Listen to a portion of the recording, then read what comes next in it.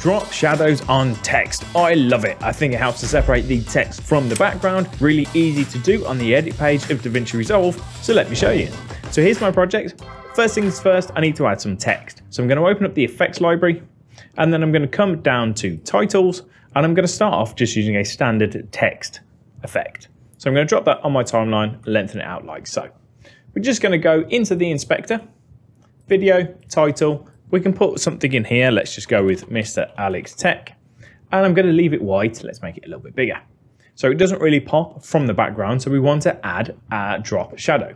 All we do from this list, scroll down until you get to here. You've got drop shadow.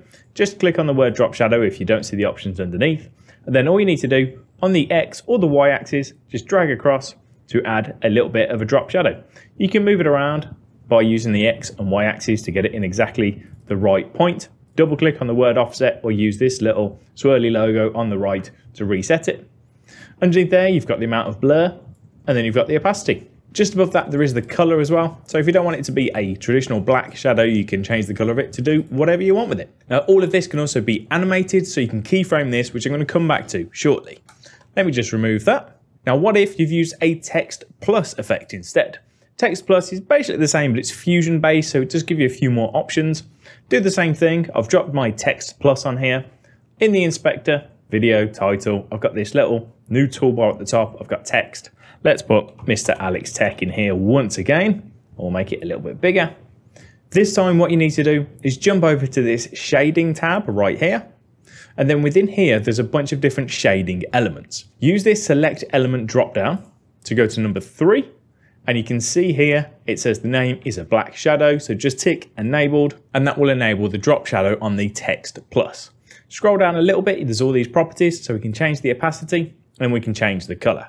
Another cool thing, not sure how useful it is, but in this type area, there's a drop down. You can change it to gradient and then you can have yourself a funky little gradient drop shadow instead. So again, have a play with all the options in here. Lastly, what happens if you've got a PNG, an image? So this is a Mr. Alex Tech image. I've created it elsewhere. It's a PNG, so it's got a transparent background, but I want to add a drop shadow onto this text instead. Let me just resize it, make it a little bit smaller. Now for this one, all we need to do is hop into the effects library, come down and open OpenFX, scroll right down in this list until you get to this Resolve FX Stylize area. Third one down, there's a drop shadow, so just drop that onto your PNG file. And there we go, we now have a drop shadow on this text. Give that image a click on the timeline so it's highlighted in red. Open up the inspector, top right hand corner, and go to the effects tab at the top. And you can see you've got the properties for drop shadow. If you don't see the properties, just click on the word drop shadow so that they appear. We've got the strength, we've got the angle, we've got the distance, and we've got the blur. Easy peasy, right? Now remember I said that you could animate these drop shadows as well. Well, check this out. So in this little sequence, I've got the word light bulb, and then the light bulb pops down, turns on, and then swings around a bit. And what I want to do is to animate the drop shadow so that it moves in accordance with the actual light bulb. So how do you do it? Well, it's actually dead easy. First thing, I'm using a standard text title here. So it's not a text plus, it's not a PNG, although it works in pretty much the same way if you're doing either of those two. What I want to do grab my playhead and put it to the point where the light bulb turns on. So I'm just going to zoom in a bit. This is the frame where the light bulb actually comes on. So I'm just going to go back one frame, just using the left arrow key, because this is the point where I want to start my animation. I'm going to give the text a click in the inspector, video, title, same as before, scroll down, and it's this offset that I need to animate. So next to offset, you've got this little diamond, give that a click, and that tells it that we're going to be animating this and it sets a keyframe. I'm then going to move my playhead forward one frame to this point where I want my drop shadow to appear. And I'm going to move my y-axis just down like so.